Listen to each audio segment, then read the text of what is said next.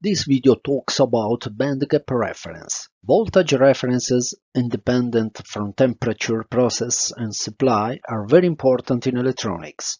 The bandgap reference is a good way to produce voltage references with a very little temperature dependence and therefore also a very little process dependence.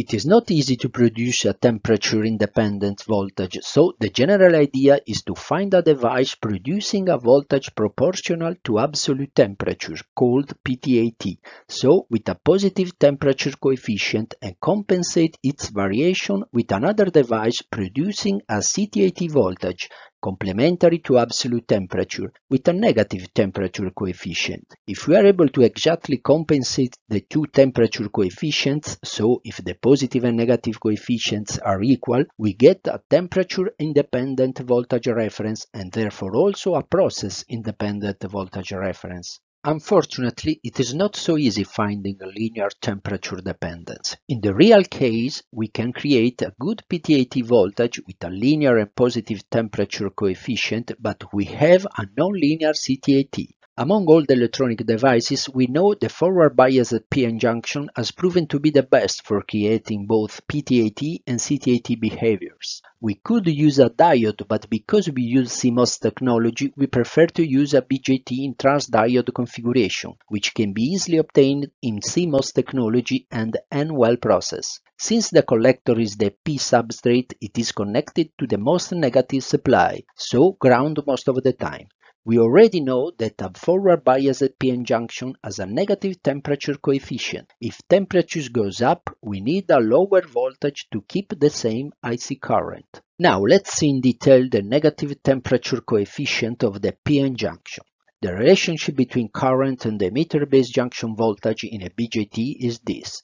So the voltage VBE is this one here where Vt is the thermal voltage kT over Q, so with a linear relationship with temperature. Saturation current is also strongly dependent on temperature as you see in this relationship. So VBE has a specific and nonlinear relationship with temperature. If we want to know the VBE variation with temperature, we have to calculate the derivative of VBE with respect to temperature. Assuming constant IC, this is the derivative we see that the variation of VBE with temperature depends on the absolute value of VBE itself, the band gap energy of silicon Eg, and temperature again. If we keep into consideration that IC is not constant but has a linear relationship with temperature, the derivative is this one here. At room temperature, 300 Kelvin with Vb equals 800 millivolts, being the silicon band gap equals 1.12 electron volts, we have a temperature variation of negative 1.5 millivolts per Kelvin. For the PTAT voltage, we created the circuit in which the two BJTs are built equal, but the BJT1 has area A and BJT2 has area N times A. Since the current IC is the same, we can write this relationship.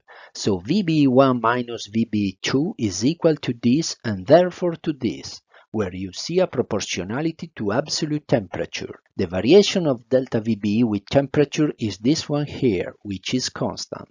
So in this case, we have a very good PTAT with a positive and linear relationship with temperature. Unfortunately, our CTAT is temperature dependent, so even adding CTAT voltage to PTAT voltage, we won't be able to completely cancel out the temperature dependence, but as we'll see, we'll get close. Now, to add the CTAT and PTAT voltages, we use this circuit. If we assume that voltage Vx is equal to voltage Vy, we can write that VB1 is equal to VB2 plus R1 times the current IC. So VB1 minus VB2 is equal to R1IC, but this is also equal to Vt natural log of n.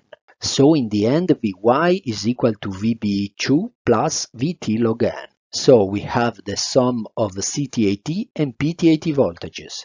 This is a start, but it is not enough because we want the variation with respect to temperature being zero, so K over Q times log N should be equal to 1.5 millivolts per Kelvin, but for this to be true, would need N equals to 3 times 10 to the 7th at room temperature. It is difficult to obtain such difference in the area between the two BJTs, so in order to make the voltage temperature independent, we add a coefficient alpha to have margin so that now we can act on two parameters, alpha and n, to make the two thermal coefficient equal. Since K over Q equals 0.087 millivolts per Kelvin, we have that alpha log n has to be equal to 17.2, so we can take, for example, alpha equals 6 and n equal 18. So in order to create a PTAT voltage on R1 and therefore a PTAT current, we need the same voltages on the point X and Y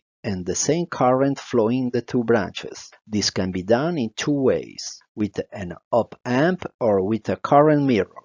We are going to see both ways. First, we see the op-amp. We keep the voltage on point X and Y equal through the op-amp. If, for example, voltage Y goes up with respect to voltage X, the output of the op-amp would lower, thus lowering the current flowing through our two resistors, therefore lowering voltage Y. In this way, the op-amp keeps the voltage X and Y equal. If point X and Y are at the same voltage, then the same current IC flows in the two branches because at the ends of the two resistors R2 we have the same voltages. We take the reference voltage at the output of the op-amp, so Vref is equal to VB2 plus Vt log n plus R2 times Vt log n over R1. Note that this part is the voltage at point Y, which being equal to Vx is a CTAT voltage, and this one is the PTAT part, obtained by flowing on R2 the PTAT current Vt log n over R1. Vref can be written in this way where we can realize this part is equal to alpha. So we can choose R1 and R2 to get the alpha we need. In our case, to have 6, we could pick R1 2 kiloohms and R2 10 kiloohms. Let's see what happens when the temperature goes up.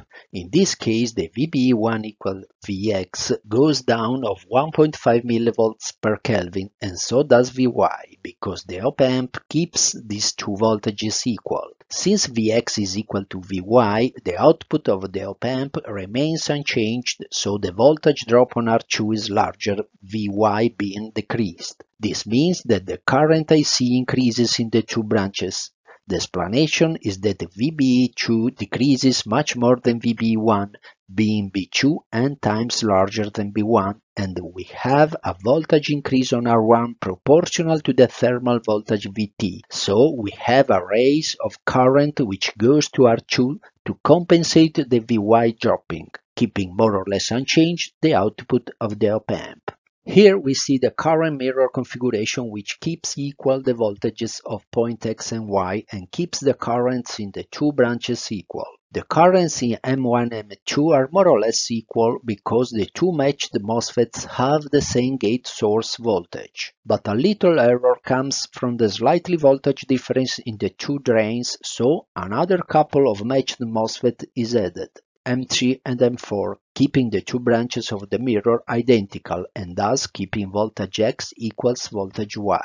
I leave a video about current mirrors in the description. We saw we cannot take here the Vref because Vy is equal to Vx, so is a CTAT voltage. But we remember that since Vx is equal to Vy, the voltage drop on R1 is Vt log n and therefore the PTAT current Vt log n over R1 is created. We can use the current mirror to copy the PTAT current into a new branch where we have a resistor and another PN junction. So now Vref is equal to VBE3 as CTAT voltage plus R2 over R1 times Vt log n as PTAT voltage. Here alpha is equal to R2 over R1 and to have alpha equal 6 we can take R2 12 kiloohms and R1 2 kiloohms. This circuit produces a voltage reference almost temperature independent but it has an issue in the startup because we have two operation points. In the first IC1 is different from 0 and equals IC2.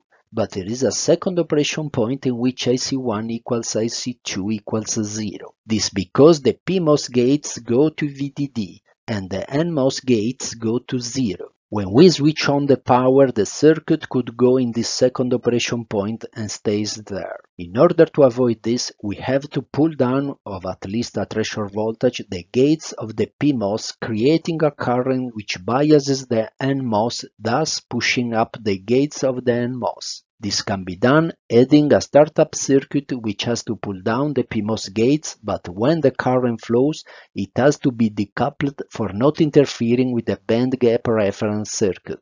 So in order to pull down the gates of the PMOS M1 and M2, we add M5 and M6 MOSFETs. You have to see M6 as a large resistor, so a small MOSFET. At the start, no current flows through M6, so the gate of M5 is at VDD, turning on M5, which pulls down the gate of the PMOS, switching on the PMOS M1 and M2, and making current flowing in the two branches, which in turn biases the NMOS M3 and M4, turning them on. When we reach the proper operation point, we want to detach M5, so we add M7 MOSFET, which is a large MOSFET, so a small resistance. You see at the proper operation point, the gates of the NMOSes M3 and M4 are at high voltage, turning on M7, which pulls down the gate of M5, taking it almost to zero, thus turning off M5 and detaching it from the bandgap circuit.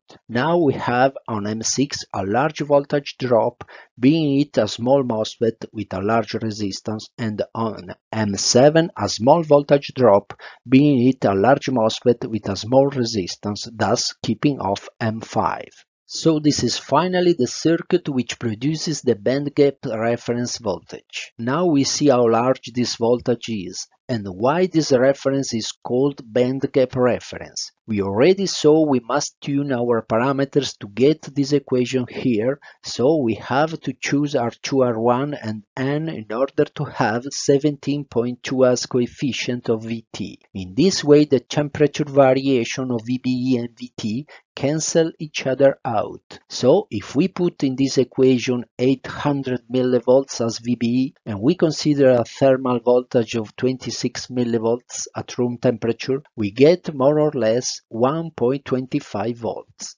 1.25 volts is not a large voltage level, but the important thing is that it is more or less temperature independent and it has a little supply dependence due to the channel length modulation of the MOSFETs. So it is a reliable source of voltage. For increasing this voltage reference, we can for example add this circuit and we get a reliable amplification of the VREF depending on the choice of R3 and R4 resistors. Of course, this is a circuit which can be very much improved.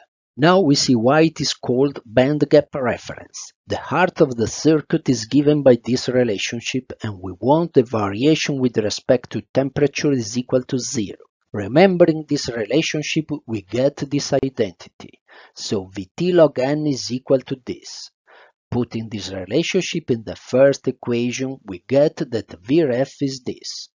So it depends on the thermal voltage and on the bandgap energy of the silicon. In particular, if temperature is 0 Kelvin, the reference voltage is equal to the bandgap energy of the silicon, hence the name. The bandgap energy of the silicon is the energy the electrons need to jump on the conduction band and in the silicon case is equal to 1.12 volts.